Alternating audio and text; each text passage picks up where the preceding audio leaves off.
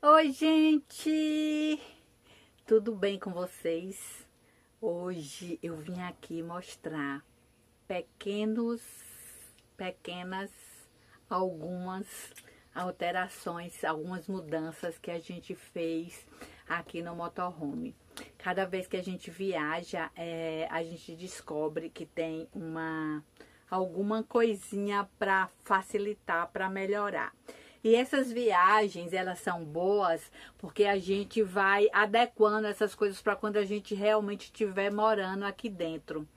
Então, a última viagem que a gente fez foi para Mocugê. Quem não assistiu, assiste o vídeo. O vídeo que está aí na, na nossa playlist. E a gente detectou algumas coisinhas que a gente precisava melhorar. E eu tô aqui para mostrar para vocês mudancinhas básicas que eu adoro fazer. Então vamos lá que eu vou mostrar para vocês. Vamos começar Vamos começar aqui pelo quarto. Aqui no quarto a gente tinha uma porta aqui. Aí a gente tinha que abrir a porta, entrar no quarto, passar para cá, fechar a porta para abrir a porta do banheiro. Era meio complicado, principalmente para Aquiles, que é grandão. Tudo que a gente ia fazer tinha duas portas aqui, uma aqui, uma aqui. Aí Aquiles teve a ideia da gente tirar essa porta. Tiramos a porta, ficou bem mais fácil o acesso para o banheiro e Pra, na hora de trocar de roupa, se o vidro lá na frente tiver, tiver aberto, fiz uma cortininha aqui que a gente puxa ela, deixa a cortina presa aqui do lado. E aí ficou bem mais prático e com acessibilidade bem melhor aqui pro, pro quarto. Outra coisa que eu fiz, essa porta desse armário, ela abria muito durante a viagem. Volte e meia eu tinha que sair de lá correndo porque ela estava aberta. E talvez por ela ser maior que essa, porque o tipo de fecho é esse fecho assim, ó. Talvez por ela ser maior, ela não aguentava, que ela só tem um. Aí o que é que eu fiz? Coloquei essa travinha, ó. Porque na hora de viajar, a gente deixa ela travada e ela não vai mais abrir. Outra coisa que eu fiz foi o seguinte, aqui é onde eu coloco a roupa suja. Na verdade, eu boto um saco aqui nesse lugar, ele tem uns ganchinhos que eu encaixo o saco. E essa madeira aqui, ela era inteira, ela era inteira até lá embaixo. Então, na hora de abrir, eu precisava tirar ela toda, suspender o colchão, Calma, celular, foque. Aí, o que é que eu fiz? Eu cortei aqui, coloquei uma, uma, como é o nome disso? Dobradiça. E na hora de colocar a roupa, ó, é rápido de colocar. E a mesma coisa eu fiz para a madeirinha que fica aqui nesse lugar, que é do quarto. Eu coloquei ela com dobradiça, ó. Então ela não fica mais solta. Na hora de dormir, é só tirar essas almofadas e virar ela para cá e colocar as almofadas no lugar. Que também ficou bem prático. E a outra coisa que eu fiz, eu fiz esta. É, como é o nome disso? Uma cortininha para ficar aqui no quarto, porque não ficou bonito sem a porta, a, o início da cortina. Então eu fiz essa cortininha em macramê e olha como ficou bacana, ó. Deixa eu ver esse negócio aqui, ó. Ficou bem bacana. E essa cortina eu tinha feito, vou mostrar para vocês. Eu tinha feito esta cortina para cá ela estava aqui. Só que quando eu completei os azulejos, não ficou legal a combinação, ficou muito poluído, porque não sei se vocês lembram que esses adesivos eles estavam só até a metade. Aí eu comprei o restante e terminei de colocar, então acho que agora ficou bem melhor. Outra coisa bem bacana que eu fiz é que eu queria a, a, na verdade, eu mais aquele do que eu, que ele ficava implicando com essa com essa com esses armários dessa cor, vou mostrar. desta cor.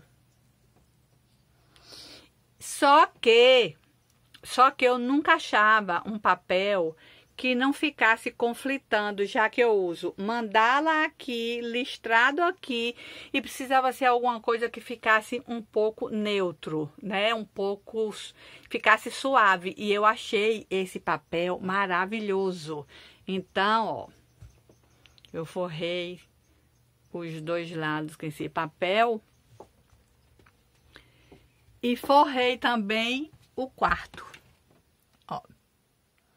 que ficou bem bacana. Isso aqui é um climatizador. E aí, para ficar melhor, eu vou alterar esses organizadores aqui. Eu vou fazer eles totalmente bege, porque a gente já fica cortina listrada de um, de um lado, cortina listrada do outro. E eu só não estou gostando disso, que eu vou alterar, mas vai ficar para um próximo vídeo. Ah, eu esqueci de falar que eu coloquei um espelho aqui na porta do banheiro. Então, ó, Fica bem prático. O espaço é um pouquinho apertado, mas dá pra gente se ver. E agora, o que foi de melhor que eu, que, que eu fiz é o seguinte. Esse fogão aqui, ele é muito apertadinho para cozinhar. É a pia, o fogão e já a geladeira aqui do lado. E essa tábua, ela era inteira. Aí, quando eu tirava essa tábua daqui, que eu tirava inteira, eu tinha que botar ela ali no quarto para trabalhar. E eu sentia a necessidade de um lugar para apoiar as coisas que eu estava cozinhando. Então, o que é que eu fiz? Tirei essa TV que ela ficava aqui no meio, coloquei ela bem lá no canto, tá? Isso aqui eu cubro as tomadas. Aí, quando eu não tô viajando, eu boto os sapinhos aqui em cima, tá? e cortei esta madeira aqui, porque, ó, quando eu tiro para liberar o fogão, eu ainda tenho uma bancadinha, esse paninho aqui embaixo, gente, é a tampinha do fogão, que eu deixo enrolado num pano, porque ele faz muito barulho quando a gente tá viajando. Tá. E aí eu tô cozinhando e eu tenho um apoio para colocar tempero, colher de pau, sei lá, as coisas que a gente precisar. E o que fazer com isso, Margarete? Eu fiz um cortezinho aqui na lateral. Aí eu encaixo, ó, eu encaixo ela aqui, encaixadinha aqui, ó. E aí na hora de cozinhar, eu tenho fogão tem um apoio e outro apoio para colocar. Sei lá, às vezes a gente precisa tirar uma panela quente daqui e fica sem, sem ter espaço para colocar. Já posso colocar aqui em cima, ó. Ficou bem firme com aquele cortezinho que eu dei. Então, eu acho que vai facilitar bastante, é, bastante na hora de cozinhar. Essa, é evidente que essa plantinha eu tiro daqui na hora que eu tô cozinhando, né? Porque para não aquecer demais. E comprei esses organizadorzinhos, ó. Eles são bem estreitinhos, que eu coloco aqui. E ele fica tudo bem encaixado. Não, não cai nada, é, não cai nada enquanto a gente está viajando. E deixa tudo mais organizadinho. Isso aqui é para molhar minhas plantas. Comprei essas canequinhas para tomar café. E aí, coloco elas penduradinhas aqui. Achei até que ia fazer bagunça, mas nem faz. Fica bem firmezinho. E foi isso. Ah, eu esqueci de, de mostrar outra coisa. Essa, essa parte que é cinza do carro era um, um, um tecido assim que tava velho, feio. Aí a gente tirou e eu revesti, ó. Todo. Aí a aparência da porta já ficou bem mais bonitinha.